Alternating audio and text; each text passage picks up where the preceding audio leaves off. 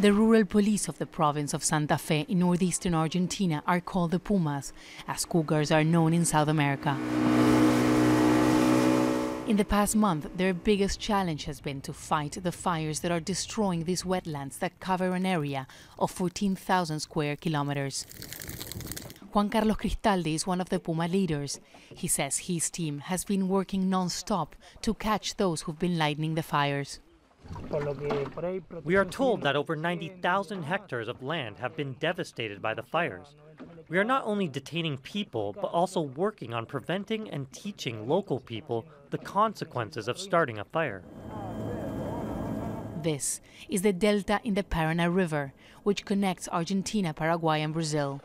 It's also known as the Little Amazon because of the rich biodiversity that exists here. Over 11,000 fires have been detected in the past seven months. This area is extremely difficult to patrol. There's over 30 islands here. Environmental groups say that the fires are started by landowners who start the fires to renew the grass, but those fires later on spiral out of control.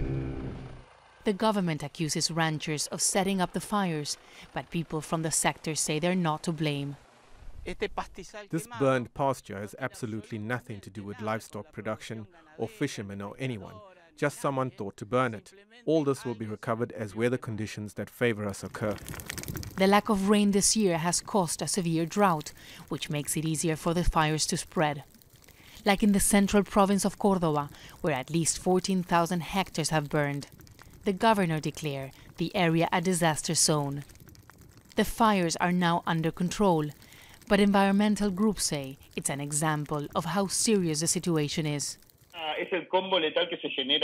There's a lethal combination ongoing drought because of climate change and deforestation, but also fires that could be caused by human negligence or with an attempt to take over land. Where there is pastures, there used to be native forests. We need more laws that protect our forests and seas and our wetlands in Argentina. Environmental groups are pushing for a law that will protect Argentina's wetlands and impose tougher fines on those who violate it.